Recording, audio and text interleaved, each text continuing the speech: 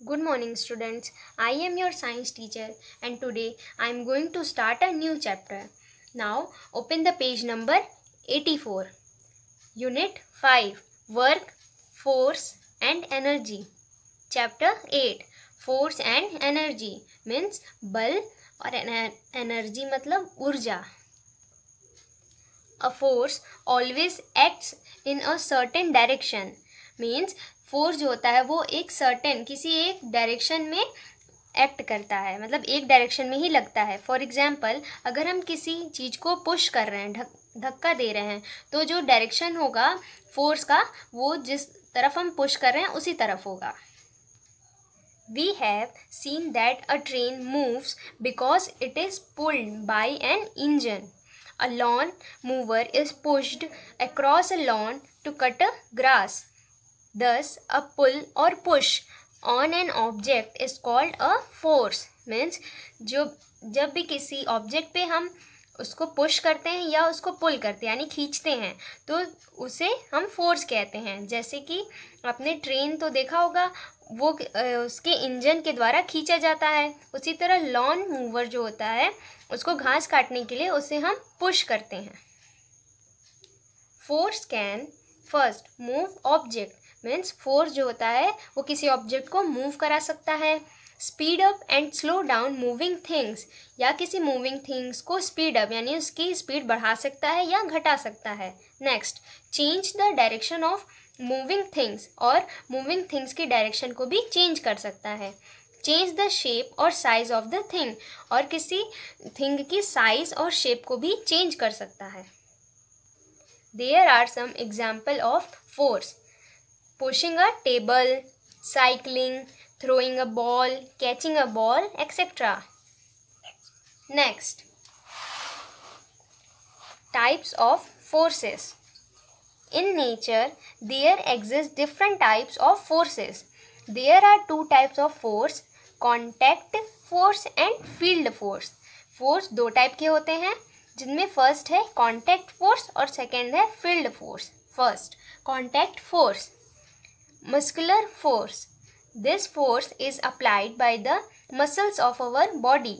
Muscles get tired after work. While pushing the lawn mower, we use this force. Means ऐसा force जो हमारे muscles के द्वारा apply किया जाता है उसे हम मस्कुलर फोर्स कहते हैं for example weight lifting next frictional force frictional force is the force which stops object from sliding across each other friction force ऐसा फोर्स होता है जो कि किसी ऑब्जेक्ट को रोकता है एक दूसरे के अक्रॉस रगड़ने से।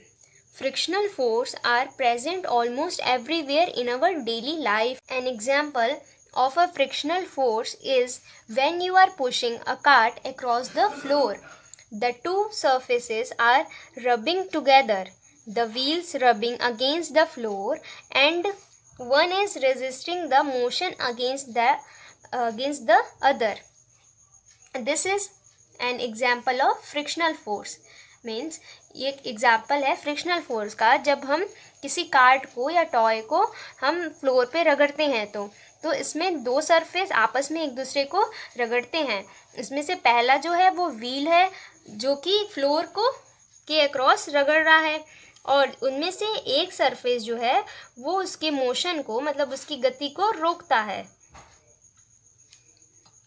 We have friction between our feet and the floor due to which we can walk this is same reason that we slip more easily on smooth marble marble floor than a hard cemented floor friction का एक और example है, जैसे हमारे feet और floor के बीच में friction होता है, जिसकी वजह से ही हम चल पाते हैं।